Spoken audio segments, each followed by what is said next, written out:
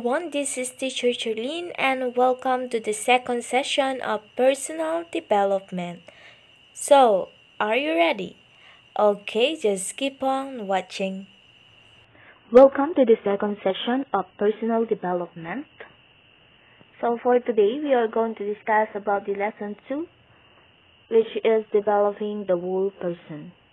So before we, we proceed to our next lesson or to the discussion, I want you to think about the best answer of this question. So, what is the relationship of the different aspects of development with your thoughts, feelings, and actions in dealing with life situations?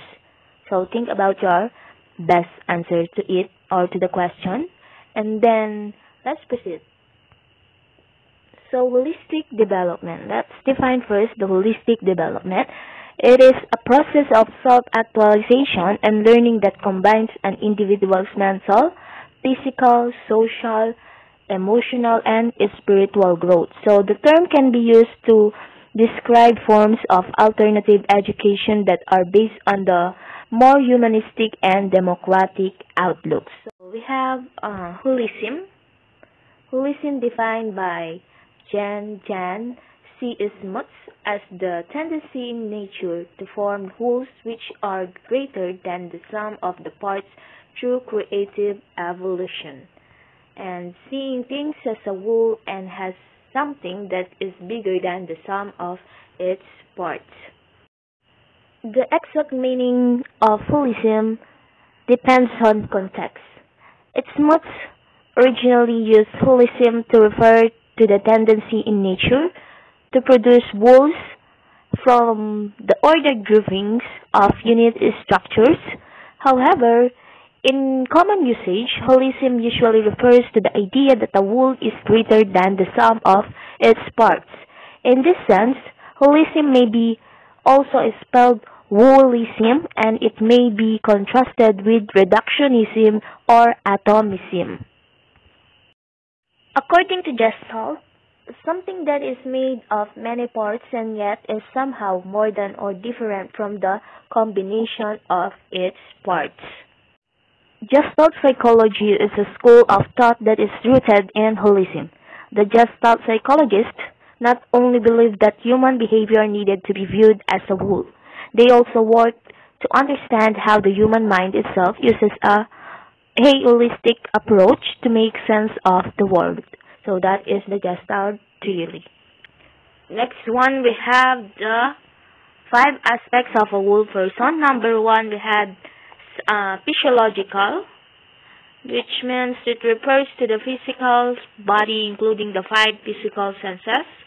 And number two, cognitive refers to the thinking process of a person. Example, thinking, recognizing, reasoning, remembering, and etc. Number three, psychological. It refers to how a person's way of thinking, feeling, and behaving happen in a person. Four, social refers to the relationships of a person has with other people. And number five is spiritual, refers to the higher higher ideals, beliefs, and values a person adheres to which help guide the person in achieving personal happiness and self-fulfillment. Understanding a person holistically means that one aspect cannot be seen in isolation from the whole person. So let's proceed to the feelings and emotions. Let's define first emotions are usually caused by physical or physical sensations experienced by the body as a reaction to a certain external and then there are five uh, emotions or basic emotions. First, we have happy, sad, afraid or surprised, and angry or disgusted. So, let's define feelings. Feelings are the result from the emotions that were experienced arise from the brain that interpret emotions. Attitudes are the person's thoughts, feelings, and emotions about other person, object, idea, behavior, or situation are results of person's evolution or evaluation of an experience with another person, object, idea, and etc. Next, behavior is a manifestation or acting out of the attitudes an individual has.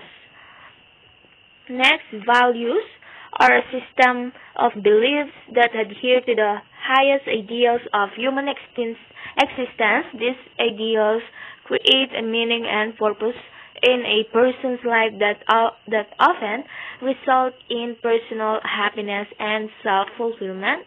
Virtues uh, are descriptions or adjectives that reflect a human or a value. So I have a question. Can attitude be changed? So I will leave it to you, that question. So next, let's proceed um, to the values and virtues. So we have um, peace, uh, virtues, peaceful, calm, integrity, values, virtues, repu reputable, responsible, believable, honest, trustworthy, love, loving, caring, compassionate, gentle, affectionate. Next, respect, respectful, civil, balance, objective, fair, harmonious. Okay. So that's all for today. Thank you for listening. Good day and God bless. See you on the next session.